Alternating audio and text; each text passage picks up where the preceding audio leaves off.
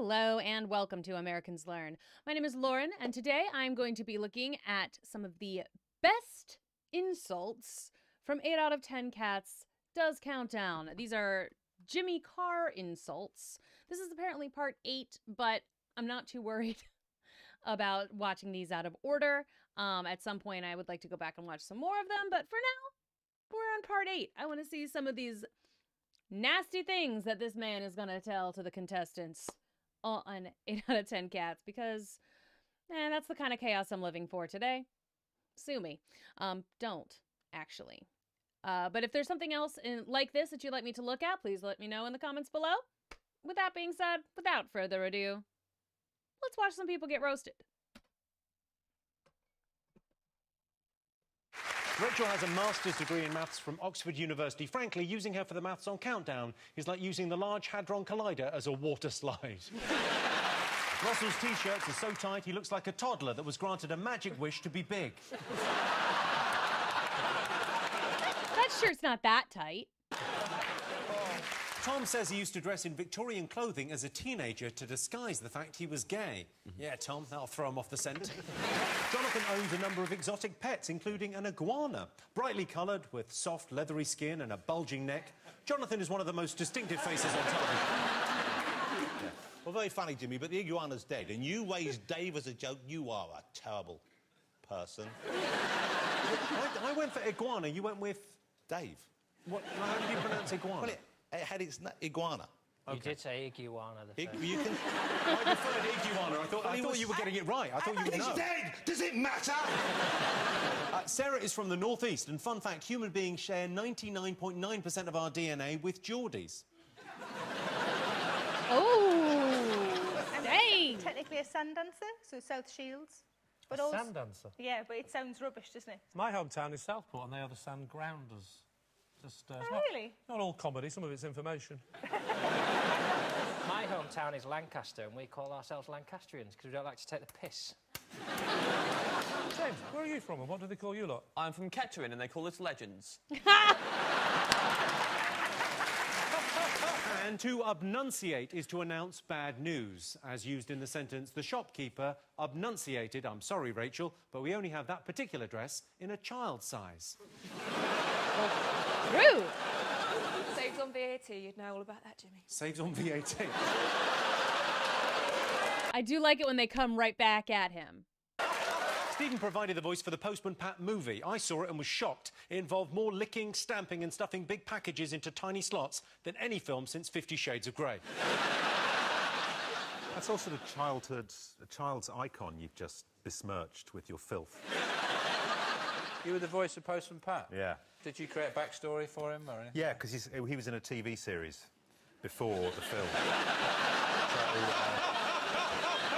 uh, Stephen, Yeah. who did you take over from? Who was the voice in the telly show? well, a very unhappy man. Clearly. Just wondering how he feels about it all. Well, I look at it like Bond, really. You know, you move yeah. on, there's different Bonds, no one gets upset. There's different Pats. There's different Pats. Same, same. Idris Elba's going to be the next Postman Pat. Before finding fame on The Daily Show in America, Michelle worked on Wall Street. So her surname is Wolf, and she used to work on Wall Street. She's just like that film, Annie. In 2016, John became a father. Must have been amazing holding that child for the first time and thinking, wow, just nine months ago I was sitting at home waiting for my wife to get back from her yoga retreat. What a weekend. Where would we be without Rachel Riley? I thought he was going for gonna go for like a wow, in two months this one will be bigger than me sort of joke because they make a lot of jokes about him being short. I, that's kind of where I thought he was going. Well, we could probably just move the letters board closer to Susie. It's not like she's rushed off her feet. Rachel appeared on a celebrity version of Child Genius where she was beaten by a 12 year old in a maths challenge. And there's me thinking dancing on Strictly would have been the most embarrassing thing in your career. Johnny Vegas has show business running through his veins, as well as dangerously high levels of saturated fat. Rude. Uh, You've all come back to butter. Haven't you? Uh, I was mocked during the margarine years. Your love of butter. I mean, you said you- you've outlived Prince and David Bowie. Who, who would have thought it? Only because I'm younger. You are? Michelle! Well, we should probably crack on with the show because, judging by Rachel's dress, she clearly has a hen do to get to. I was thinking she looks like an Easter egg. That was the first thing that popped into my head. She looks like. I had quite a few hen dos this year, actually. Did you? One of them, I dressed up my friend as a tortoise with a penis. That's nice. yes, there was a stop. I'm really proud of that. A tortoise with a penis. Yeah, she loves tortoises, so we all went. And for penises. Well, you know, we were in Bristol. no, your mum's going, yeah? No, fair enough. Yeah. That was, a, that was a good night, actually, yeah. She really came out of her shell. John recently became a father. John's got OCD, so the conception took a while, as as soon as he turned his wife on, he had to go back and make sure he turned her off again. Rachel Riley has a degree from Oxford, and her tutors have a degree of sadness when they think about her chosen career path. Joe lives in Brighton. He fits right in because if there's one thing the residents of Brighton love, it's a hairy bum.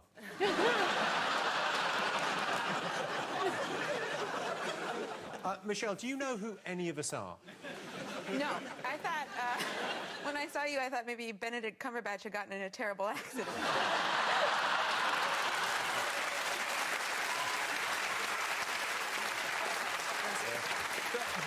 The really hurtful thing about that is I sort of take that as a compliment. when you want gingerbread man? Oh, it's a gingerbread me. Yeah, gingerbread you. I've got a gingerbread Susie. You can eat that if you want. I mean, you're more than welcome. I've got oh, Roisin's quite pretty. Look, look at that. Yes. Oh, Roisin. is it edible? Rabbit? Yeah, of course it's edible. Uh, hang on. I always Yeah. have to ask. Got one for John. There's the short joke. Noel's every girl's dream if what that girl is dreaming of is a 40-something goth crow. Noel, you're pretty rock and roll, and Countdown isn't. How would you make this show kind of more, more kind of cool? don't know. You could, the desks could be on fire or something. Different host. Probably wouldn't have the Riddler from Batman on it every week.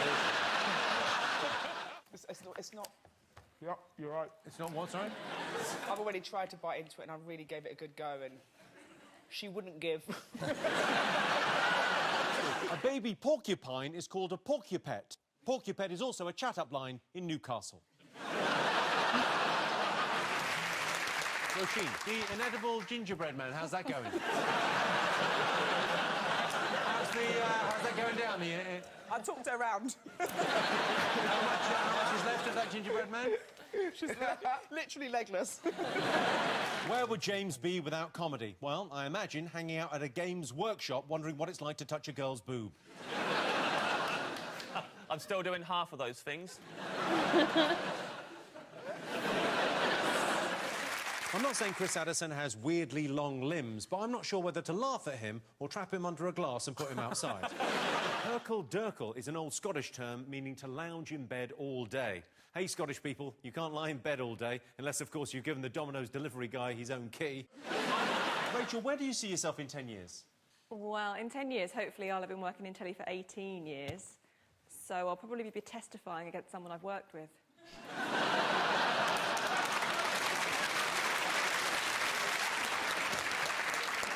She's The quick. Black Domino Trio have an incredibly dedicated following, by which I mean they're being monitored very closely by the police.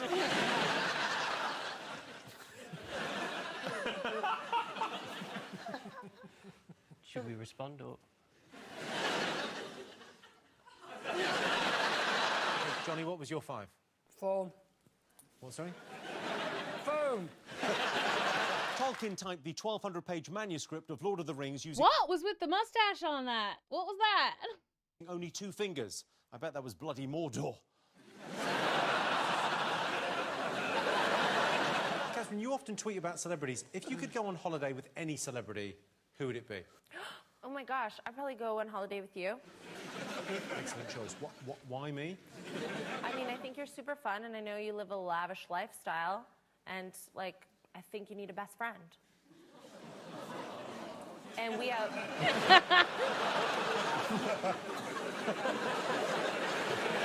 You know I'm a real boy. Lee excelled at school. Sorry, Lee was expelled at school. Hypothermia is a state in which the core temperature of the body falls below 35 degrees. I love that Lee was like proud of. He's like, yes, I was. I was super expelled. I don't know. The worst thing I've ever happened. Like I got detention. I got lunch detention a lot. Only got after school detention once. People who die from it include mountaineers and during a cold snap, viewers of regular countdown. David has that just got out of bed look if the bed was some flattened cardboard boxes in the doorway of a Currys Digital. You look like Dracula's less successful younger brother. Countdown. start with- Count down. Um, a consonant, please. Thank you, Lee. Rachel. M. Uh, vowel. V. Upside A. down. it's your only job, Rachel. V. Susie has written 14 books all about the derivations of words and phrases. Susie, where do you get your lack of ideas from? In David's most recent book, he named a squirrel after Susie Dent. Small, wild, and with an insatiable appetite for nuts. Susie was delighted. the Oxford English Dictionary grows by over 4,000 words a year. No wonder Susie Dent's worn out. Well, that and the dogging. Susie doesn't really enjoy being famous and goes So this is the this is the Susie hour where we like come for Susie Dent, huh? to great lengths to avoid being recognised. For example, when she's in her car, she wears sunglasses and a hat, so the other doggers don't know it's her. Susie Dent knows the derivations of even the rudest words and phrases. So, where does cock gobbler come from? Well, she was born in Woking, but now she lives in Oxford. my baby, that's my baby, huh? It's always banging that door, aren't you? Are you talking to Susie or me now? He's never banging on my door, I have to say, thank goodness. Um, thank goodness.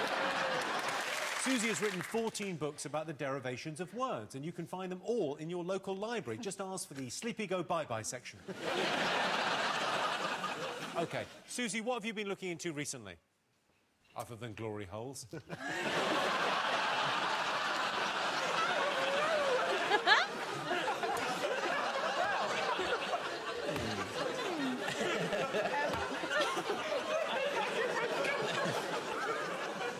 unnecessary joke.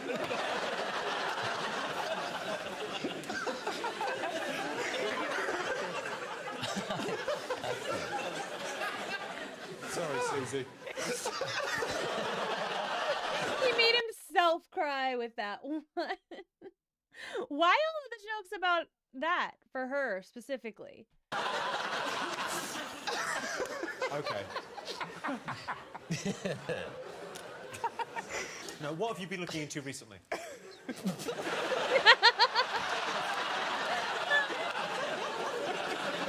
think this is all the effect of my having brought me No, I've been looking into the uh, the language of doctors, which is quite interesting. Okay. But things like um, brothel sprouts. Was- Brothel Yeah, sprouts? because you know doctors have these ridiculous names to try and... the black humour, sick humour, to Yeah. try and you know keep the horrible stuff at bay. So brothel sprouts, uh, basically genital, genital warts. Sorry, I'm sorry to at bring me. these up.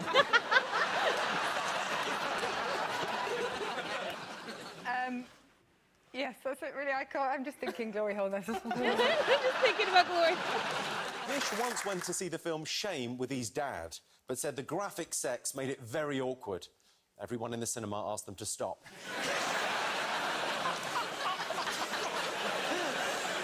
Hi, Dad. Oh my god. All right, well some of those were pretty good. I don't know I don't know enough about uh Susie Dent, I guess. Or what dogging is. I know that somebody wants me to listen to the fascinating Ava Ada song Dogging. Presumably to learn what that specifically is. Let's keep it clean in the comments if we can. Um as much as possible with this particular choice of video. but all right, there we go. That was uh some of the best insults on 8 out of 10 Cats Does Countdown. Some of those were quite good. Um I, I some of those were very very funny. I really like it when they like when Jimmy Carr just makes himself laugh and like he just can't handle his own humor. I appreciate that. He's like, "Oh, wow." Because sometimes you just say something and then it's like that said, it's out. It's out in the it's out in the ether now. Can't can't unsay it, can't go back, can't rewind. It's on TV. It happens. Um Thank you again so much for watching. Uh, if you want something in particular for me to react to, make sure you let me know in the comments below. Be it comedy, be it music, be it history, whatever you want me to look at, let me know in the comments below. Um, and I will see you in the next one.